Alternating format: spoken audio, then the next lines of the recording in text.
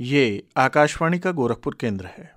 प्रस्तुत है वनस्पति विज्ञानी प्रोफेसर जितेंद्र पांडे से डॉक्टर नीरजा माधव की बातचीत।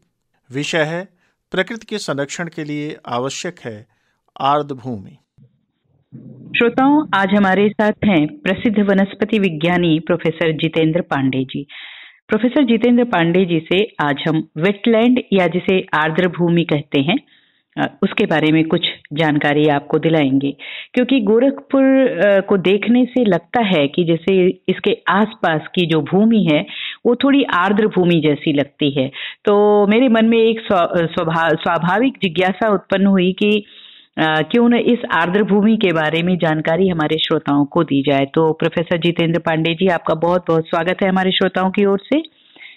आ, सबसे पहले तो हम आपसे ये जानना चाहेंगे कि ये वेटलैंड या जिसको आर्द्र भूमि कहते हैं, इसके कई नाम हैं।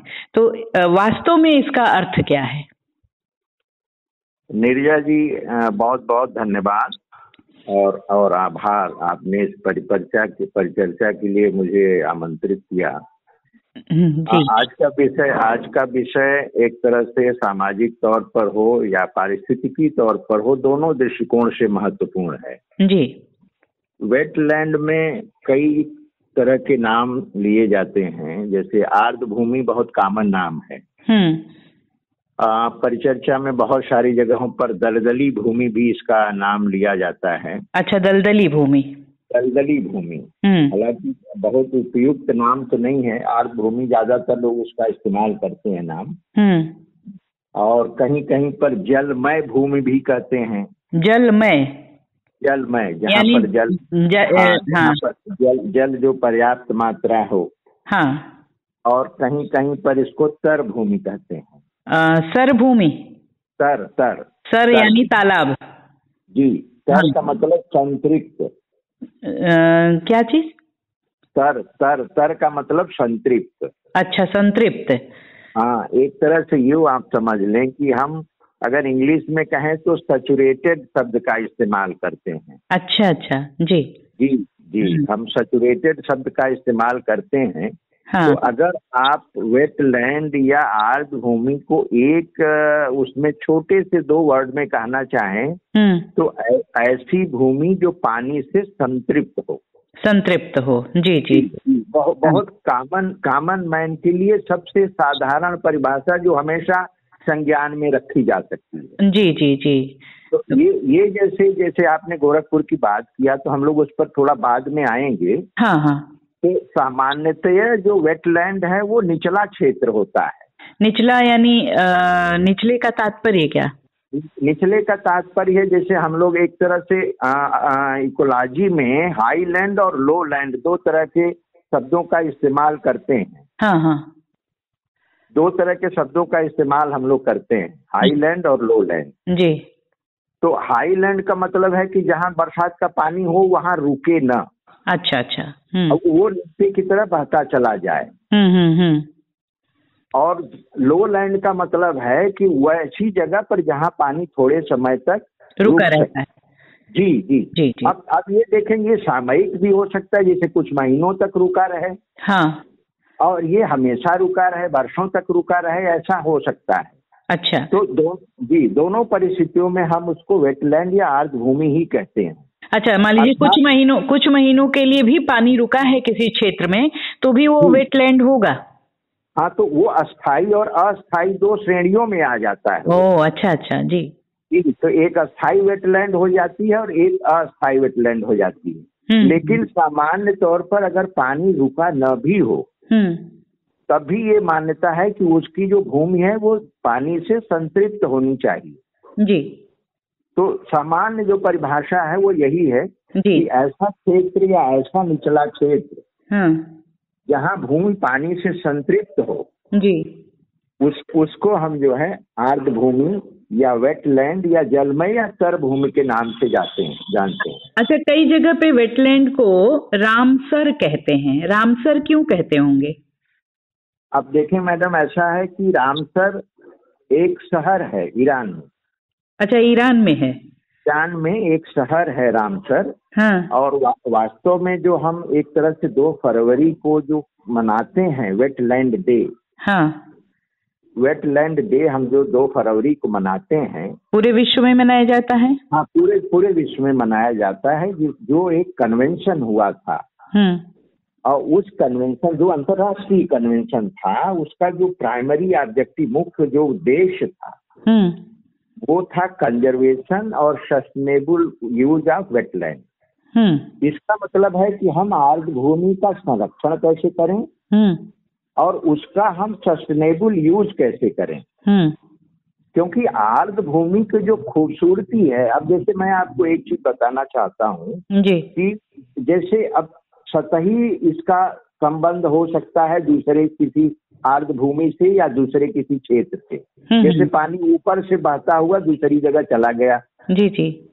एक तो ये सतही संपर्क हो सकता है उसका। तो हम्म। इसका इसका फ़ायदा मिलता है वहाँ के रहने वाले जंतुओं को वनस्पतियों को और इंसान को भी। हम्म।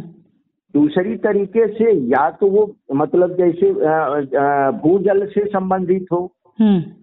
जो लंबे समय तक वहाँ पानी जो है संतुलित रहता है। जी। इकट्ठा रहता है तो ऐसी परिस्थिति में पानी धीरे धीरे फ़िल्टर करके भूजल में मिलता है। अच्छा। तो शुद्ध भूजल को वो बढ़ाता है।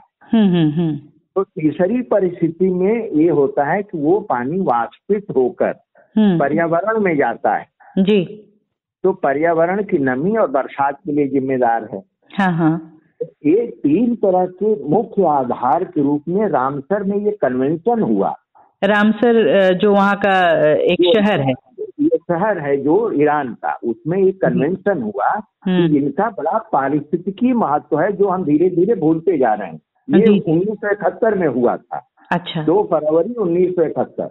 अच्छा इसीलिए दो फरवरी को वेटलैंड डे के रूप में मनाया ही जाता है। हाँ बिल्कुल। उसीलिए वेटलैंड डे के रूप में मनाते हैं। ये इसमें एक इंटरनेशनल ट्रीटी हाँ। समझौता जो है वो साइन किया गया हाँ। जिसमें ये कहा गया कि जितनी भी वेटलैंड अंतरराष्ट्रीय महत्व की है हाँ। वो चाहे विश्व में कहीं भी जी जी उनको हमें पहचानना है और वैश्विक स्तर पर उनके संरक्षण की और उनके सस्टेनेबल इस्तेमाल का सतत इस्तेमाल का कैसे उपयोग हो उस पर हमें वैज्ञानिक दृष्टिकोण से काम करना है जी। तो क्या इसके लिए कोई टीम वगैरह बनी होगी वैश्विक स्तर पर? वो नेशनल नेशनल और इंटरनेशनल लेवल पर सब बनी है जी। हम्म। जो ये जैसे मान लीजिए कि हमारे यहाँ एक चिल्का लेक अब जो जो जितने भी वेटलैंड हम्म। इस तरह के श्रेणी में आए उनको हम लोगों ने रामसर वेटलैंड या रामसर स्तर मान लिया। अच्छा अपने भारत में भी जो वेटलैंड दिखाई दिए उनको रामसर मान लिया आप लोगों ने? जी जी रामसर मान लिया। अच्छा। बिल्कुल रामसर मान लिया। और उसमें जैसे आपका चिल्का लेक है उड़ीसा में हाँ। जैसे केवला देव है आपका राजस्थान का बहुत मशहूर है नेशनल पार्क भी है बर्ड सेंचुरी भी है। जी।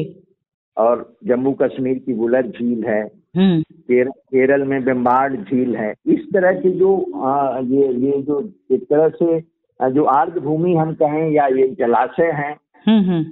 बहुत सारे देखिए इस मायने में लेकर कहीं कहीं हमें अप्रिहंसन रहता है कि इसको हमने झील कहा तो इसको वेटलैंड कैसे कहें। लेकिन ये अप्रिहंसन रामसर कन्वेंशन के बाद बहुत ज़्यादा साफ़ हो गया।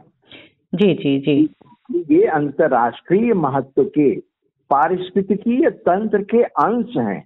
हम्म, हम्म। ये आप एक तरह से यूँ कहें कि जैसे हम अपने घर में मोजाइक बनवाते हैं मोजाइक लगवाते हैं। हाँ हाँ। तो उसी तरह से ये हमारे प्रकृति के मोजाइक हैं पट्टिकारी हैं। अच्छा।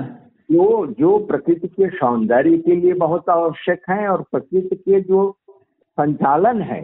संरक्षण के लिए भी आवश्यक है। बहुत आवश्यक है। हम्म। प्रकृति में हम लोग एक कॉन्टिन्यूम शब्द का इस्तेमाल करते हैं कि हम्म। प्रकृति का हर कंपोनेंट हम्म। आपस में सतत है। जी जी।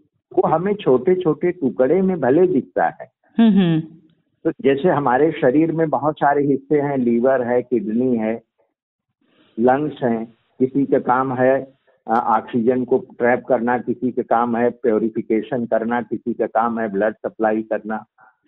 तो ये तो जो प्रकृति रूपी प्रकृति रूपी हाँ, शरीर है उसमें ये वेटलैंड किस रूप में है? ये वेटलैंड एक तरह से आप समझ लें किडनी का भी काम करता है मतलब फ़िल्टर करता है। अच्छा अच्छा जी। बहुत सारे बहुत सारे जहरीली चीज़ों को फ़िल्टर जैसे आप मान लीजिए गंगा रिवर है हमारी। हम्म, हम्म। तो गंगा रिवर में पानी आने के पहले हम्म। ये लाखों लाखों किलोमीटर स्क्वायर की इसकी बेसिन है। जी। तो जब पानी वहाँ से ऊंचाई से जो हाई लैंड से जब पानी ट्रेवल करता है नीचे की तरफ़ बहुत सारी वेटलैंड्स मिलती है। जी। तो पहले पानी वहाँ जाता है। तो ये पहला पानी जो है वो गुणवत्ता में भी अच्छा होता है और अगर किसी प्रदूषित क्षेत्र से गुजर रहा है तो जहरीले पदार्थों में भी बहुत ज़्यादा सांद्रित होता है। जी जी। तो इस पानी को सीधे गंगा जल गंगा जी में जाने के पहले ये वेटलैंड्स अपने में रोक लेती है। आर्द भूमि में वो जल रुक जाता है। अच्छा। तो देर तक रुकने के बाद वो जो जहरीले पदार्थ हैं हाँ। वो वहीं अवशोषित हो जाते हैं तो हमारे मुख्य रिवर तक वो चीज़ें नहीं पहुँच पाती अच्छा तो जैसे मान लीजिए आपने जो कहा कि जैसे मान लीजिए गंगा है या कोई भी हमारा देश तो नदियों से भरा पड़ा है बहुत सारी नदियाँ हैं। वेदों में नब्बे या निन्यानबे नदियों का उल्लेख आया है। तो यानी बहुत सारी नदियाँ हैं हमारी उस, उसकी आ, सहयोगी नदियाँ हैं। तो क्या इन सारे क्षेत्रों को वेटलैंड कहा जाएगा क्या? नहीं देखिए उसमें थोड़ा सा अंतर है। हम्म। जैसे हम नदियों को जैसे हमारी मेजर अब नदियों में भी हम कभी मेजर रिवर कहते हैं।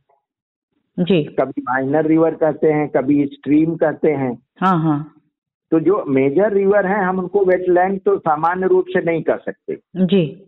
लेकिन जो बीच में जैसे अब गंगा जी हैं तो इसको पूरी गंगा जी को जो बनारस का स्वरूप जैसे आपको दिख रहा है हम्म। तो ऊपर की तरफ़ जब आप जाएँगी अपर गंगा मान लीजिए वहाँ पहुंचेंगी तो पतला स्वरूप होगा। हम्म, हम्म। और जो फिर जो हाई लैंड से पानी आता है वो एक तरह से जैसे किसी एक वृक्ष में बहुत सारी शाखाएँ हों। जी जी। और ऊपर से हम पानी गिराएँ और ऐसा गिराएँ कि शाखाओं से होता हुआ तने से पानी नीचे आए। अच्छा। तो ये जो तना का स्वरूप है यही आपका मेजर रिवर कहलाता है। हम्म हम्म हम्म। ऊपर से पत्तियाँ हैं टहनियाँ हैं उससे होता हुआ पानी। वेटलैंड हाँ नीचे की तरफ़। अब जैसे अब रिवर के मान लीजिए हमारी गंगा जी हैं। हाँ। गंगा जी में जो अपर गंगा पार्ट है उसको हम वेटलैंड कह सकते हैं। उसको अंतरराष्ट्रीय स्तर पर रामसर साइट के नाम पर जाना जाता है। अच्छा। ये जो रामसर नाम है बहुत आकर्षित कर रहा है। इसमें राम भी है। इसलिए कर रहा है कि इसका सबसे बड़ा उद्देश्य जो है वो संरक्षण है। हाँ, हाँ। जैसे हम अपने शरीर के अंगों को संरक्षित ना करें तो हमारा शरीर स्वस्थ नहीं होगा। जी जी जी। तो ये हमारे शरीर जैसे अगर पूरे प्रकृति को एक शरीर माने तो उसका बहुत महत्वपूर्ण हिस्सा है ये। जी जी जी। इसे हमें संरक्षित करना आवश्यक है। जी जी जी। तो रामसर नाम का बड़ा महत्व है। जी प्रोफेसर जितेंद्र पांडे जी आ, ये जानना ज़रूरी है कि जो वैश्विक स्तर की तुलना में भारत में वेटलैंड की स्थिति क्या है? देखिए वैश्विक स्तर की तुलना में अगर हम पूरे लेवल पे कंपेयर करते हैं जी। तो हमारा देश जो है वो सातवें नंबर पर आता है जियोग्राफिक एरिया के हिसाब से। हम्म, हम्म। तो उस हिसाब से हम पीछे हैं। और पीछे भी हैं और पीछे होते जा रहे हैं। क्यों? वेटलैंड बनाने में हमारी आपकी भूमिका तो है नहीं। नहीं नहीं उसमें उसमें देखिए मैं बताना ये चाहता हूँ कि जो प्राकृतिक तौर पर जो वेटलैंड थी हाँ। जो आर्द्र भूमि थी वो कम हो रही अच्छा क्यों? अब अब अगर आप देखें तो अंतरराष्ट्रीय स्तर पर हाँ। हम लोगों ने मतलब वैश्विक स्तर के वैज्ञानिकों ने और जितने लोग पॉलिसी मेकर्स हैं हम्म। सबने लगभग 2450 के आसपास वेटलैंड को आइडेंटिफाई किया। अच्छा। जिसमें ये कहा गया कि इनका संरक्षण बहुत प्राथमिकता से करना ज़रूरी है। ये अंतर्राष्ट्रीय स्तर पर इतने हुए चिन्हित? ये हुए हाँ लगभग ढाई हज़ार रफलिया माल ने थोड़ा बहुत रोज कोई कोई बढ़ता जाता है। हम्म। अब भारत में अगर आप देखेंगे तो सैतालीस है। केवल? केवल सैतालीस है और उत्तर प्रदेश में आठ है। हम्म।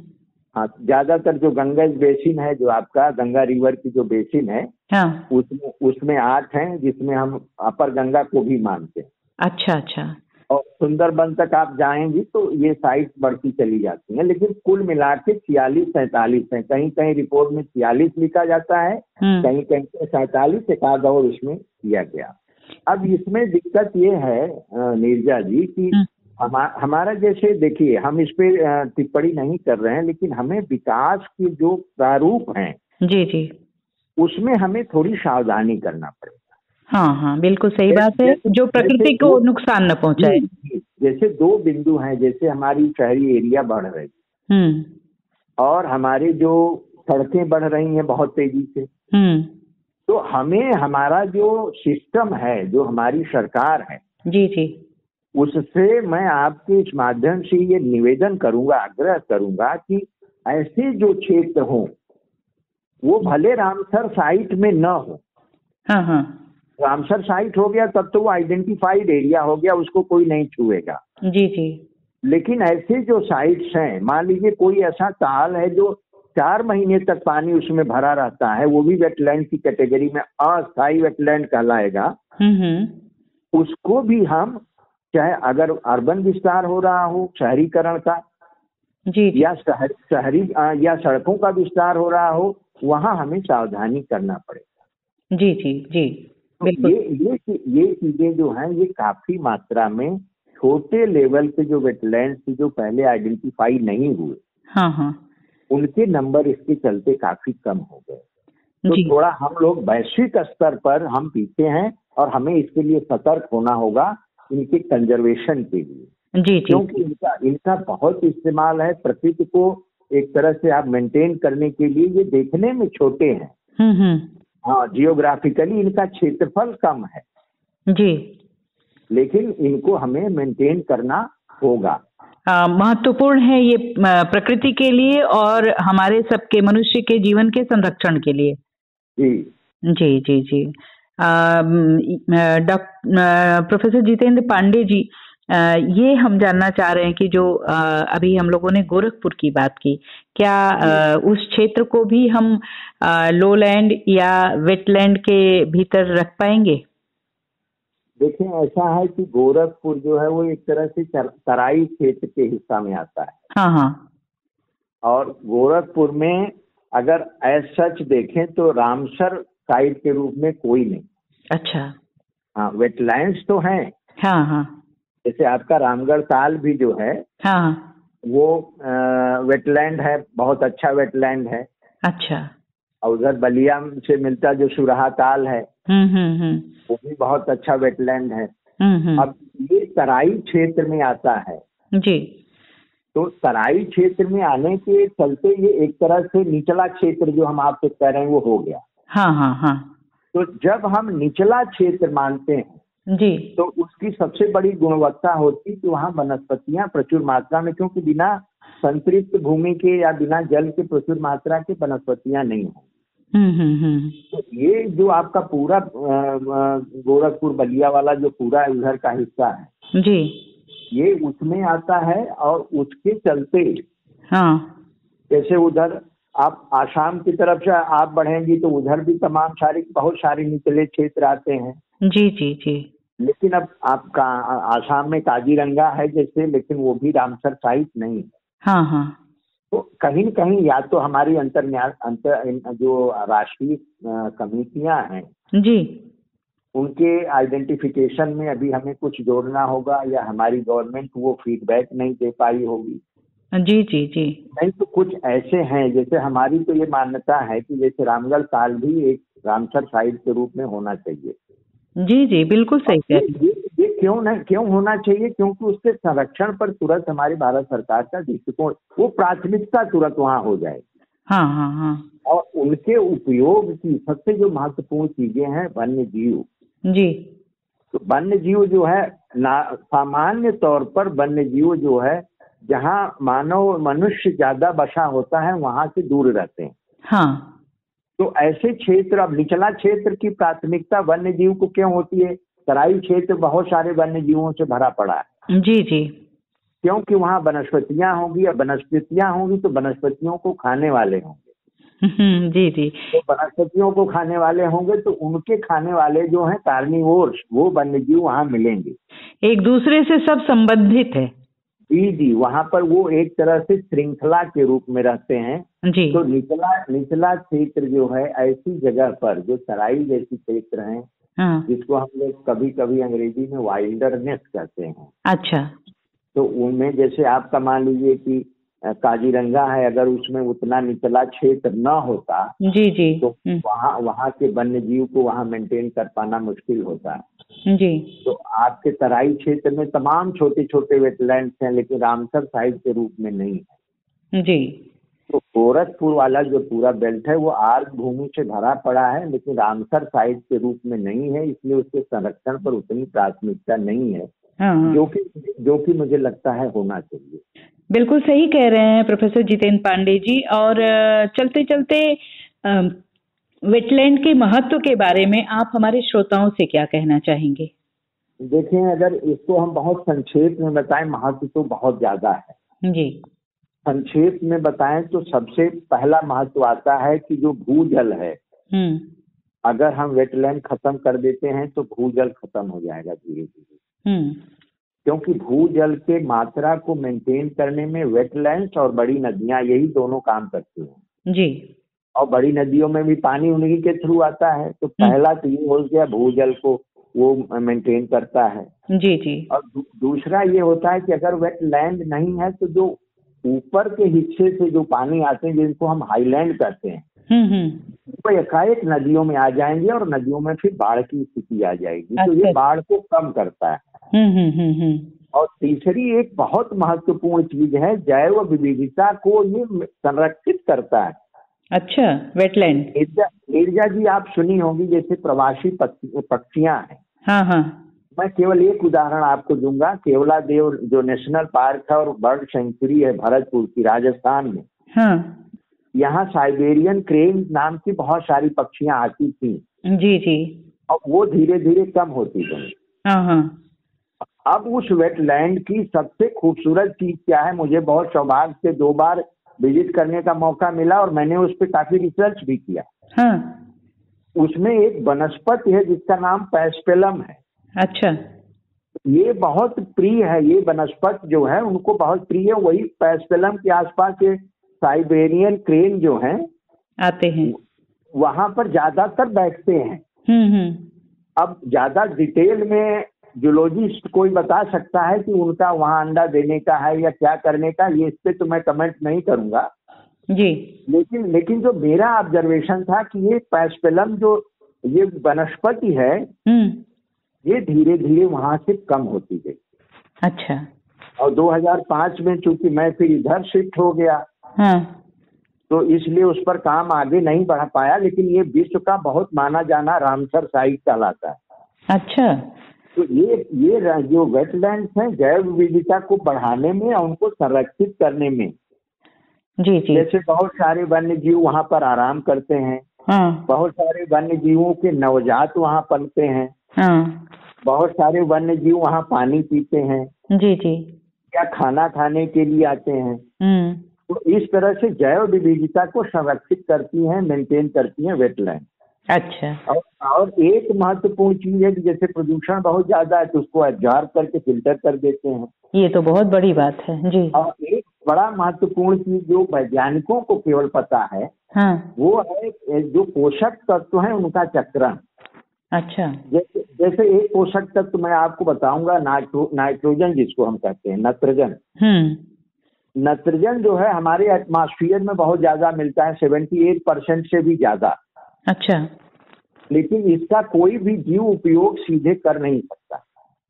क्यों? तो नहीं कर सकता ये अवेलेबल फार्म में होता ही नहीं। अच्छा जी जी जी। हाँ, चाहे प्लांट हो चाहे हमारा मतलब जैव ये जुलोजिकल सिस्टम हो वो इसका उपयोग नहीं कर सकता। हाँ हाँ। इसको कुछ बैक्टीरिया ही फिक्स कर सकते हैं। अच्छा। तो अब बैक्टीरिया ने फिक्स किया प्लांट में इस्तेमाल किया तो नाइट्रोजन का फिर पर्यावरण में जाना आवश्यक है जी जी नहीं तो वो चक्र पूरा नहीं हुआ तो उस पर्यावरण में जाने के लिए बैक्टीरिया ही उसको लौटाता है वहाँ हम्म। जब वो बैक्टीरिया लौटाता है जो उस जगह पर ग्रो करे जहाँ ऑक्सीजन की मात्रा कम हो जी जी तो ये सारे वेटलैंड्स जो हाँ. ये एक तरह से वाटर लॉगिंग जगह प्रोवाइड करते हैं कंडीशन प्रोवाइड करते हैं जहाँ ऑक्सीजन की मात्रा कम हो जाए। अच्छा। तो एक तरह से ये नाइट्रोजन के साइकिल को पूरा करने में बहुत बड़ा योगदान देते हैं। ये कितनी सूक्ष्म वैज्ञानिक दृष्टि है जो खोज पाती है इन बातों को। शायद हाँ। एक स्थूल दृष्टि से हम लोग समझ नहीं सकते। लेकिन यदि केवल सामान्य व्यक्ति नहीं समझ पाता इस बात को लेकिन ये बहुत आवश्यक प्रकृति के एक तरह से संरक्षण के लिए बहुत आवश्यक चक्र है।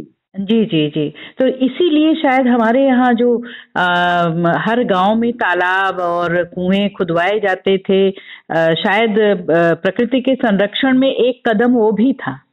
उसमें बहुत दूरदर्शिता थी। अब उस उन लोगों को वैज्ञानिक चीज़ें नहीं मालूम है। हाँ। लेकिन बहुत लोगों को शास्त्रों के आधार पर कुछ चीज़ें मालूम थी। जी जी जी। और उसके पीछे दूरदर्शिता थी कि वहाँ पर अगर बहुत गर्मी है तो वो कम होगी।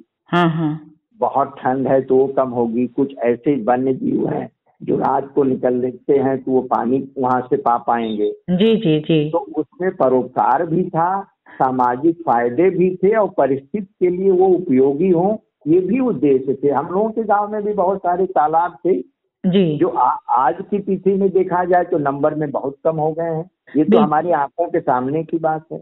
बिल्कुल धीरे धीरे धीरे धीरे लोग तालाबों और कुंडों को पाटते चले जा रहे हैं उस पर आवासीय मकान बन रहे हैं घर बन रहे हैं। हाँ वो आवासीय क्षेत्र में ज़्यादा आते जा रहे हैं। यहाँ हम अपने सरकार से आग्रह करेंगे कि यहाँ हमें थोड़ा सा जागरूक होने की ज़रूरत है। जी जी। यानी वेट को समझना होगा। जी वेटलैंड को संरक्षित करना हमारी आपकी और सरकार की सबकी ज़िम्मेदारी है। ये ज़िम्मेदारी है बिल्कुल सबकी ज़िम्मेदारी समाज की भी ज़िम्मेदारी जी ये प्रकृति के लिए बहुत आवश्यक है। तो प्रोफेसर जितेंद्र पांडे जी आपने एक बहुत सार्थक और सारगर्भित जानकारी हमारे श्रोताओं को दी। कि ये जो वेटलैंड्स हैं या आर्द्र भूमि है, कितना महत्वपूर्ण है प्रकृति के संरक्षण के लिए और मनुष्य के संरक्षण के लिए भी। आपको हमारे श्रोताओं की ओर से बहुत बहुत धन्यवाद। धन्यवाद निर्या जी बहुत बहुत धन्यवाद।